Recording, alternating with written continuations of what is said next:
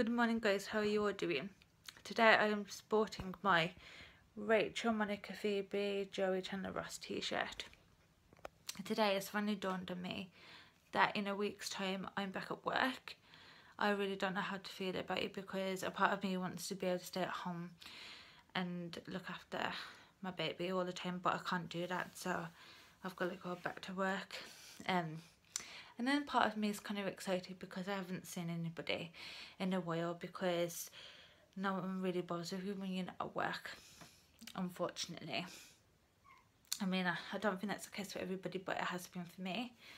So I'm really just trying to enjoy. And I'm going to try and enjoy my last week with my family before I have to go back to work. So if I get up to anything, I'll let you guys know currently have the black face mask on my nose. Um, here it is. I um have I've used it a few times on my nose. I don't feel, really think it does anything, but it makes my nose feel like smooth. So and takes some of the nose hair, which is good because you like your nose hair to be removed. But I do anyway. You go. Turn it round. Turn it round. Is that you? Is that you in the mirror? It's like you in the mirror. Yeah, you're getting ready for bed. Yes. Oh, cutie.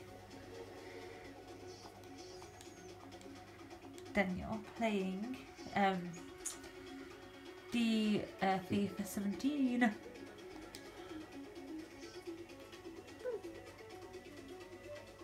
So I've just taken this off my notes and as you can see there's is some stuff in there.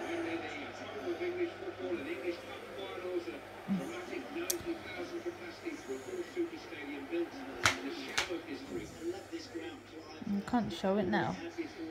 There you go. So it does take some stuff off, but mainly hair, I'd say.